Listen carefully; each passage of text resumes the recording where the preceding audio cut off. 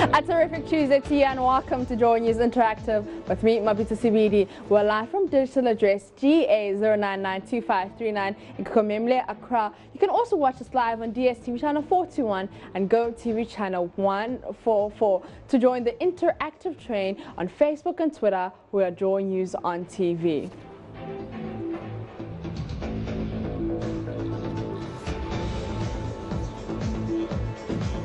Now to our first story. Presidents are elected to ensure a country's development.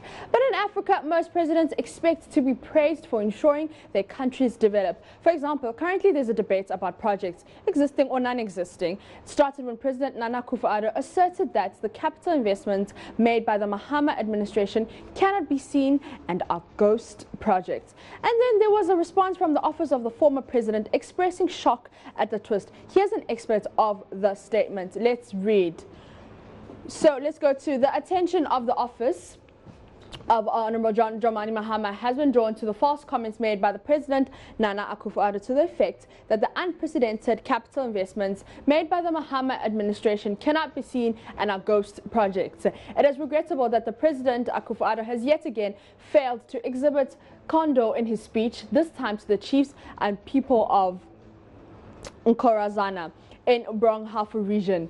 Uh, it is even more worrying when there's overwhelming evidence of the massive investment made in the provision of various projects for the people of Ghana. And let's go to, so the so for the benefit of the president, I wish to provide a list of some projects undertaken by the John Dramani Mahama administration between 2013 and 2016 in the Brong-Ahafo region. So these are the road sectors and he, he lists them, uh, the different roads. Let's see if we can get more of that statement. So that's the road sector.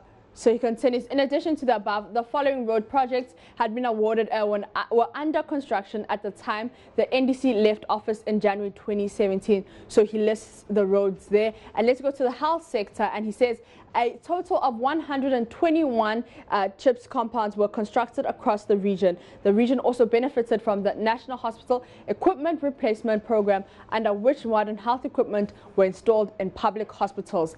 Let's go to education sector, and he says. Um, the following health training institutions were established in the regions, so he states the regions, and to further expand educational facilities and opportunities and opportunities in the regions, the following projects were undertaken, and he states those sectors. But I mean, shouldn't it be your duty to ensure the country develops as a president? Should presidents be praised for beefing up the infrastructure of the states? Let's go to Facebook. We posted that on Facebook. Let's see if we can get some of your comments. The first comment comes from Abdul Malik Akara who says, why not? Why are we all touting the achievements of Kwame Nkrumah? I think it is a result of the massive infrastructural projects that took Ghana to a different level. And going to Citizen Ati, who says, when they learn to solve the problems of the people, they wouldn't need to spend so much time campaigning for praises through empty tours. They should stop acting as if they are doing us a favor. We accepted their applications and CV and employed them to work, so we expect them to work, and the praise will come automatically. Let's go to Joseph Yani, who says, We've been made to believe that we're privileged to get things we deserve. That has been our problem. If you stand for what is due to you, you're victimized uh, for showing of arrogance. Peter Quating says, Do you need to thank your wife for preparing food for you with your chop money? It takes responsible husbands to do that. So my answer is yes. Kweku comes in to say that if only they paid for it and enjoyed no benefits in return pro bono. And Edward Miller comes in to say that no, our leaders haven't done a lot for the people of Ghana and therefore need no praises. Kamla comes in to say that yes, of course, not lip service, we're sick of it. And uh, Waliku Adams says, surely it takes a wise leader to ensure necessary infrastructures are established to harness development. If you look at the innumerable development projects executed by Noble John Dramani Mahama, you would realize that they are development-oriented projects and that are so capable of generating funds to pay back loans secured for their establishment. So let's see if we can get more comments on that issue. Kweku comes in to say that yes, they must be praised for their stewardship. And Derm Dersimone says uh, it's unfortunate and we're all involved. That is what they use to canvass for votes. Evans Azuri says, yes, presidents should be praised for beefing up the infrastructure of the state, and those who fail to do that will be booted out of office. And Abigail Owusu says, infrastructure is the drive any booming economy across the world, since it only it also ensures employment and productive income generation and tourist attraction. Emmanuel Kweku comes and to say that I don't really get the politicians or we they our somewhere, then you just come to tell us that we can develop this country. So we should permit you to use your our own money and resources to develop for our benefits, even steal more than you will use. But after granting them, they will come and say, I have done this and that, as if money comes from their own pockets. Okay. So keep those comments coming on Facebook and Twitter. We are drawing news on TV. Abdul Malik says, why not? Why are we're all touting the achievements of Kwame Nkrumah? I think it is as a result of the massive infrastructural projects that took Ghana to a different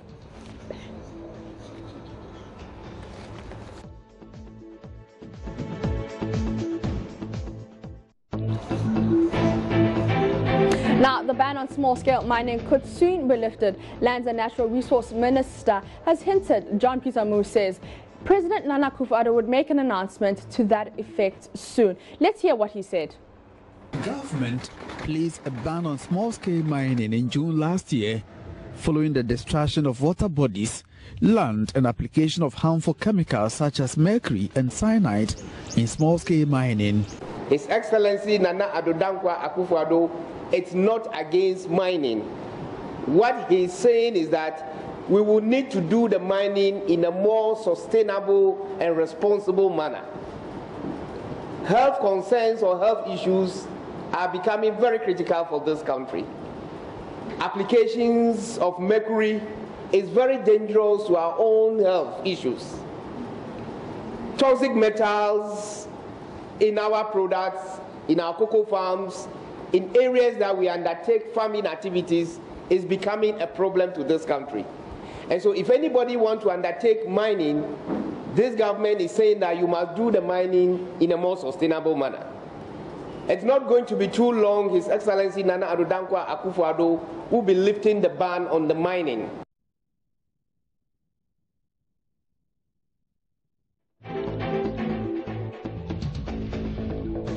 So, should the ban be lifted? We asked you on Facebook. You can check that out on our page. Let's see if we can get some of your comments now onto your screens. Let's go to uh, Waliku Adams who says, wasting taxpayers' money in the name of fighting Galamsey, which eventually is going to be lifted. You have already killed businesses. And also, that comment got a reply, and Semi Quay says, policy decisions demand intelligent change like this Honorable Minister, Honorable Minister, thumbs up. Edward Miller says no. Our taxes have been wasted by anti-Galamsey ta task forces. The government said he's going to create jobs. He should do that and stop lifting the ban. Abraham Smith says the ban, if it's a stone, should be lifted so that the unemployed gets something to do. Sammy Quay says, intelligent decision change. Honorable Peter Amewu, thumbs up. Valanya Akotia, our favorite commenter on Facebook, you can says you can prevent people from mining in waterways, but you can't stop people from mining. If you want people to stop illegal mining, grant them mining license. Give it out with ease and with less stress. Create district officers to grant them permits after thoroughly inspecting their sites. Amend the Act for district reps of Minerals Commission to check the activities of the miners. Sign documents and grant licenses. You just don't get up one day and say, stop Galamsey. It doesn't help. Tackle the administrative problems first. Aminia says, why? Please, Galamsey isn't the only job in Ghana. Please don't let us uh, think of think of day, let's think of tomorrow. Let's not think of today, let's think of tomorrow. So that's from Amin Nina. Now, six members of a task force ensuring compliance with the ban on noise making have been detained at the Tesano police station after a clash between them and members of the Tesano Assemblies of God Church. That report was brought to you by Maxwell, and let's see if we can get the Facebook comments. It got a lot of reactions, so let's go to Isaac who says, simple instruction, you can't obey and you claim you want to make it to heaven. I'm sorry, obedience is far better than sacrifice. Christ was a gentleman and he obeyed traditions and customs just as it was. So that comment got eight replies. But let's take more comments on that report. So Wales says, bravo to the policeman who detained them as one said, if you can control noise, then all the filth and open defecation can also be stopped. Throw your waste behind the government to make Accra the cleanest city, but not stopping only noise. Bashir Wanda Wanda says, can they do this thing in the Ashanti region? They said no noise, so no noise. Even if it's low or high, it is noise. Respect the Ga tradition small. Felix Antri says, the task force should stop the ambulance and convoys from sounding their sirens. If only they are really effective and eager to stop make to stop noise making. Helen comes in to say that when you go to Rome, you do what the Romans do. So far as we are in Accra, we have to obey the rules of the land. Florence Nightingale says things are going too far. I think Sundays and Fridays should be exceptional since uh, these days are for, are for worship to the re, to two religions in Ghana. Thanks. Million says just obey simple instructions. This festival won't last for a year. Oh Ghana. Albert Ajay says just obey the Ga tradition. And Linda says, respect the laws of the land, period. Naduku comes in to say that give to Caesar what is his and to God what is his. Tanti says, if you go to Rome, do what the Romans do. It's simple. And Courage says, why Tesano Assembly? There are churches making more noise than that church. Going to take a quick breather. When we come back, we'll be talking World Cup and success. Stay tuned.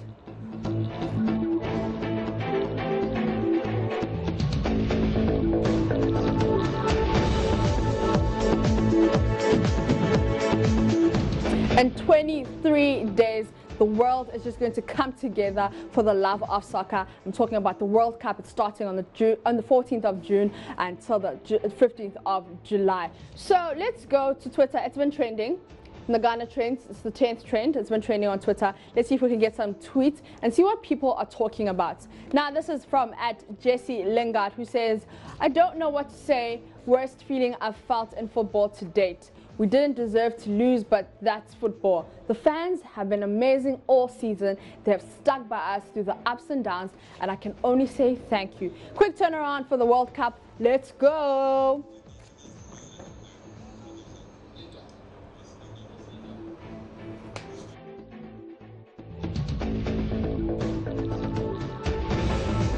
Michi H4 says, happy that Harry Kane is captain for the World Cup. I couldn't watch Henderson with the arm band.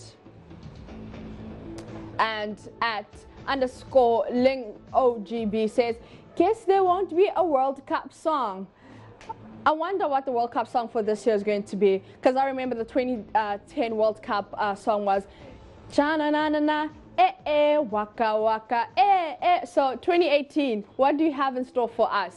Let's go to at Tom Mori0506 who says, Kane lifting the World Cup in July. And at Matador underscore Shark says, England obviously have no ambition to win the World Cup. At Smokey Ben says, my teams I'm supporting for the World Cup, France and Nigeria. If both don't do well, any other team can win apart from England at Kristen underscore Dyer says Kane. So this is Kane saying, nothing changes. I'm the same person, the same player, and it's all about the team. Yes, until one of the teammates scores a crucial goal in the World Cup and he's campaigning at FIFA's doorstep demanding he be credited with the goal. So at main man, Grizzly says, can't wait for the World Cup. It is like a massive global orgy that takes place every four years. Like I said earlier, it brings the world together. And at Howard underscore USA says, okay, so World Cup starts in 24 days. That was his tweet. So yeah, as you can see on your screens, Ghana is uh, on the Ghana trends. The World Cup is trending.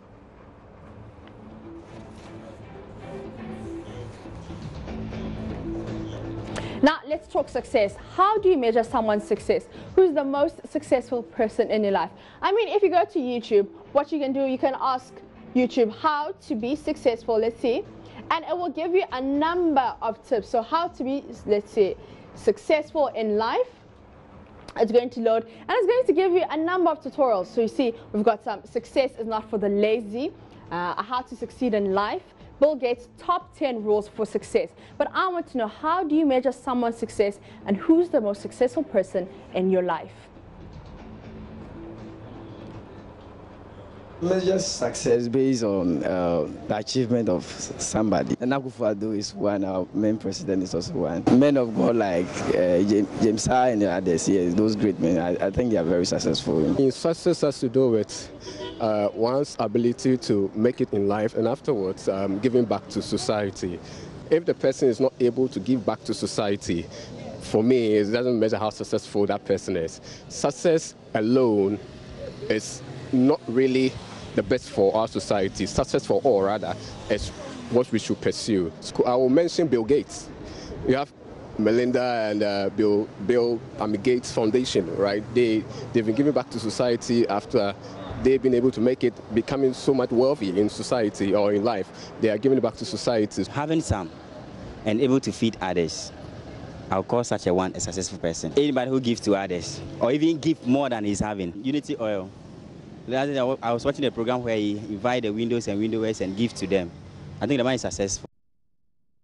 So how do you measure success? Like I said earlier, you go to YouTube, how to be successful in life, and you'll get a number of videos. For example, this one is from Will Smith, and says, how to be successful in life. And the funny thing is that most of them speak about the law of attraction, you know, seeing the thing before you even have it. Seeing is believing and having faith. But let's go to Facebook, where you guys told us who is who you think is more successful.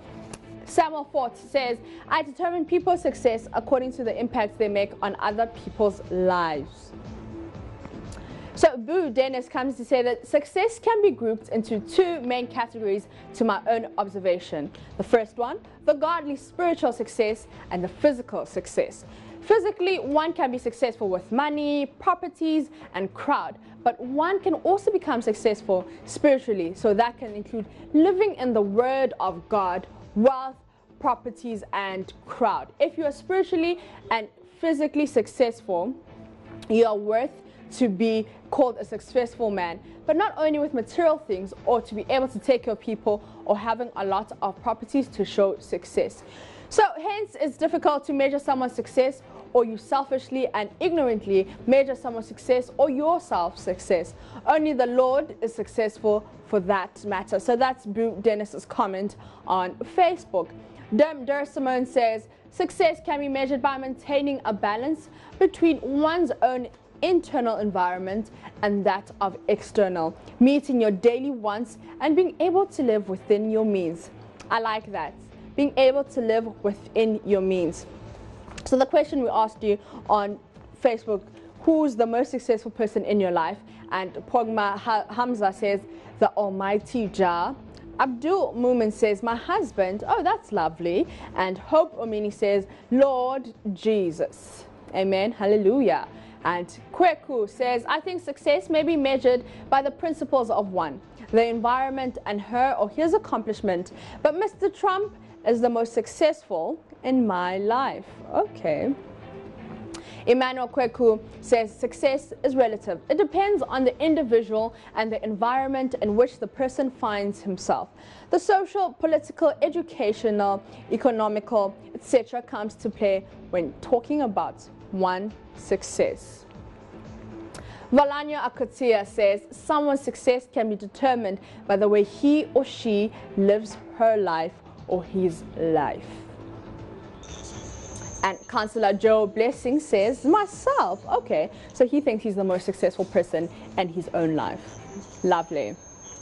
So, like I said, go to YouTube, how to be successful in life if you want to be successful. If you have your own tips, then carry on and be successful.